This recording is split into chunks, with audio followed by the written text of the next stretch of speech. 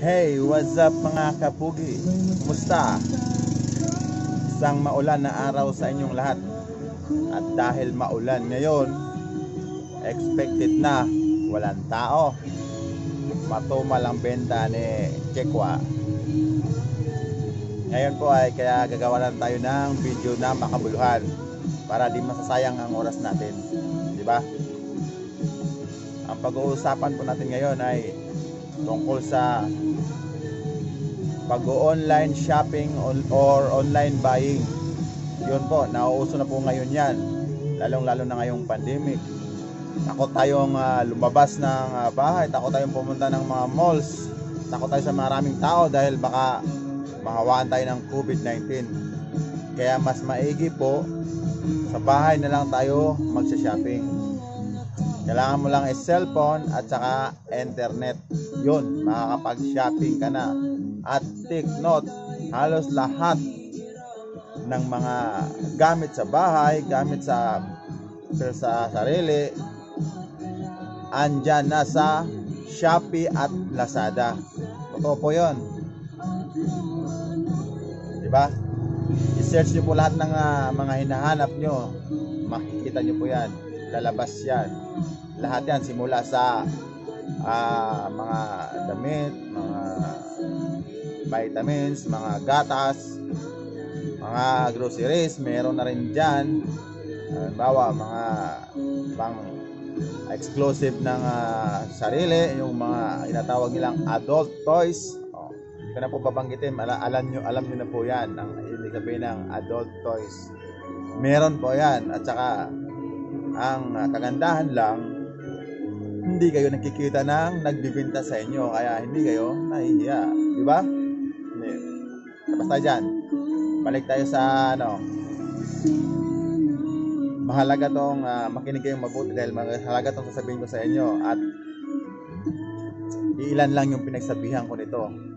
Very 100% effective ito sa pag-online shopping nyo para hindi kayo ma-scam, hindi masasayang yung pera nyo, hindi kayo makabili ng mga sira-sira o kaya mga peke, ganon. Dagdag ko lang, ako po'y naging isang preferred seller sa Shopee noon. Da, yung preferred seller po, ang ibig sabihin po noon ay isang parang promotion sa isang seller po na naka-reach ng ah, hinahanap nila na na magandang maganda yung ratings mo, maganda ang feedback sa iyo ng mga buyer mo at na-reach mo yung quota na aabutin mo yung ah, sales mo. O kumbaga mataas yung sales mo at maganda yung ah, feedbacks at ratings at reviews sa mga products mo kaya pwede kang magiging preferred seller at bibihira lang po at ilan lang ang gina, ginagawaran nila ng ganong ah, parang promotion ngayon po ay dalawa na po ang klase ang ang ano ngayon sa Shopee kumbaga meron na silang ah, mas mataas po sa preferred seller yung official seller po ng Shopee yan po ay mga branded po na mga products talaga yon yun po talaga doon po kayo ah, mas ah, mas siguradong makakabili ng magandang produkto. Yun nga lang, ang mga product doon is ah, medyo mataas-taas ang presyo kumpara sa mga na seller na mga ordinary lang. Yun nga po, kung gusto niyo po yung makasigurado talaga, doon po kayo sa official sellers. At saka, pangalawa po ay ang preferred sellers. Yun po, mga ano po talaga yan, mapagkatiwalaang sellers po yan. Kung nagkakaroon man ng problema yan, madali lang po yung makipag-usap sa inyo, madali lang yan makasundo, mabilis yan sila magre-refund. Oo, kasi iniingatan nila ang kanilang performance. Mas mura po ang bintahan sa online dahil ang mga seller po dyan walang binabayaran na pwesto. Oo. The same time, wala rin silang tax. Ilan lang yung mga nagtatax dyan, yung mga malalaking ano lang talaga, online na online na store. Mm. Ngayon po, ang pag-online na shopping kasi may mga ano yan, advantages at saka disadvantages. Tama ba? Oh, disadvantages. Oh, pasensya na kayo sa ano ah, ah, pronunciation ko eh. Bulol talaga ako eh. unang-una, yun na nga ang mga advantages yung hindi mo na kailangan pumunta sa mall, maraming tao, ganun, di ba? Saka makakatipid ka pa. Ang disadvantages po dyan ay hindi po ninyo nakikita ang produkto sa personal o sa actual. Kung damit yan, hindi mo maisusukat. Kung sapatos yan, hindi mo rin maisusukat. Oo. Eh kung gadgets yan o kaya mga gamit, hindi nyo maitatry o matitesting kung gumagana ba o hindi. Di ba? Yun ang disadvantages dyan. At isa pa, once na makareceive kayo ng order nyo at ayan ay damage, mahirapan na kayong maibalik. Mahirapan na kayong mairipan kasi may mga proseso yan. Matagal ang proseso yan bago yan mairipan sa inyo ang binayad nyo. At saka take note ha, pagdating kung nag-iisip kayo na titingnan nyo muna ang ah, items bago nyo bayaran ay nagkakamali po kayo. Hindi po pumapayag ang mga riders ng ah, delivery na bubuksan nyo ang parcel nang hindi mo na kayo nagbabayad. Siyempre, ano yan eh, for safety yan sa kanila eh. Kailangan bayaran nyo muna bago nyo siya buksan. Yun po ang nangyayari dyan. At sa kung, kung reject man yan, ay hindi nyo pwedeng ibalik sa delivery rider yan at kukunin yung bayad. Hindi po ganun, hindi po sila papayag dyan.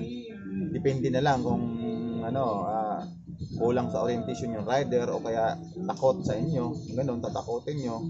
Yun, baka pwedeng mangyari pero ang standard procedure po dyan, po dyan ay mismong sa online platform ah, hotline kayo doon po kayo makikipag-cooperate sa mga ano doon. Ah, may hotline yung sila binibigay at saka sa seller eh chat nyo po sila. Yun po yun.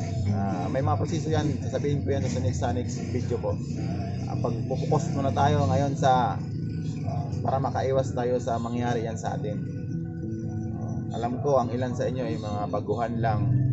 Ah, wala pang ka-idea.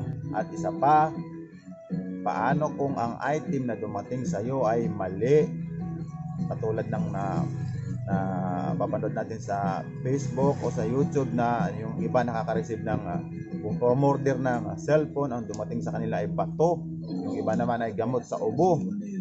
Posible pong mangyari sa inyo yon pag hindi po kayo maingat na mag-order sa Shopee at take po, hindi po yan kasalanan ng uh, seller talaga lahat. O, minsan po kasi, eh, siyempre dumadaan pa yan sa courier, dumadaan sa warehouse, yung mga incidenteng yon pero isolated lang naman yon minsan kasi eh, yung ibang uh, courier na rider na napag-itirisan ng items yon pinoslit kasi may mga tao talagang ganon. Hindi natin maiiwasan yon o para makaiwas po doon makinig po kayo sa tips ko ito po yon ay saka pala sasabihin ko sa inyo na ang pag, ayun, sinabi ko na pala yung pagbabalik ay mahirap. Pagbabalik ng items uh, ganon yun, balik tayo doon. Ganito unang titingnan nyo sa product is uh, product details. Hayaan nyo lang po yung huwag kayong magbabasa sa pictures o presyo. Kung mababa ang presyo sobrang baba ay magtaka na kayo. Titingnan nyo po yung product details muna. Siyempre kung tugma dun sa kinakailangan nyo, siya na items at ang pinaka-importante po ay ang uh, product reviews and ratings. Yun po ang pinaka-importante. Doon po kayo magbabase. Makikita nyo po doon ang mga feedbacks ng mga nauunang buyer na unang bumili. Kung karamihan po ron ay puro negative comments, huwag po kayong bumili doon sa produkto na yon dahil malamang maging parte kayo na magpo-comment ng negative pagkatapos yung ma-receive ang produkto na yun. Eh kung pagdating naman sa magagandang comments, mas marami ang magaganda at ilan lang yung uh, negative, doon po kayo mag stay Kasi kahit gaano kaganda ng produkto, kaganda ng serbisyo ng uh, seller na yon, may mga tao talagang mataas ang expectation na hindi na meet ang expectation nila mag mag-rating sila ng hindi gaanong maganda. Halimbawa, 3 star, 4 star lang, at hindi gaanong maganda. Feedback yun. Uh, okay lang yun. Minor lang yun eh. Basta ilan lang sila. Magtaka kayo kung mga negative feedbacks ay uh, mali yung item, damage, hindi gumagana, maraming ganon, hindi gumagana, not working, not working, huwag po kayong bumili sa items na yon. At pangalawa, matandaan nyo, kung kayo po ay o-order ng isang items, tapos kailangan nyo na siya magamit, halimbawa sa madaling panahon, mga tatlong araw, may dalawa, may o kaya sa isang linggo, huwag po kayong umorder ng nakalagay is uh, overseas. Kasi ibig sabihin nun, galing yon sa ibang bansa, malamang sa China yon. Eh, Siyempre, expected, pinakamaaga noon is 7 days ma-receive ang items. Nakalagay naman po yun sa ano, pero hindi talaga natutupad yun. Yung estimated uh, uh, ship out items, uh, ship out date, hindi po yun uh, natutupad. Yun po ang pagbabasihan nyo. Tingnan nyo sa location niya. Kung nakalagay dyan Binondo, ibig sabihin sa Quiapo lang yan. Kung nakalagay Barangay 165 Pasay, ibig sabihin sa Baclaran yan. Eh, kung nakalagay uh, Davao, yon Cebu, sa Pilipinas lang. Expected mo yan 3 to 5 days or pinakamatagal na dyan ang 6 or 7 days. Yun, yun yun. Ngayon, may alam na kayo. Diba? Malaking bagay po yun. Ang sinasabi ko sa inyo. Napakalaking bagay nun kung mag-order kayo online. At sa sunod po natin ng video ay tuturo ko sa inyo ang halimbawa pag nakareceive kayo ng damage o wrong items o kaya mali ang uh, in order mali ang binigay, mali ang model paano nyo siya ipabalik sa uh, sa seller at saka paano nyo siya maipariban ng mas mabilis? At saka magtuturo ko din sa inyo paano kayo maka-discount ang malaki at paano magamit ang free shipping vouchers at saka mga discounted promos tuturo ko po sa inyo sa next video. Kaya put lang mo kayo. Subscribe then click the notification bell para sa mga updates. Sana po ay nakatulong sa inyo. Maraming salamat sa inyong panonood. Magandang araw. God bless po sa inyong lahat. Bye bye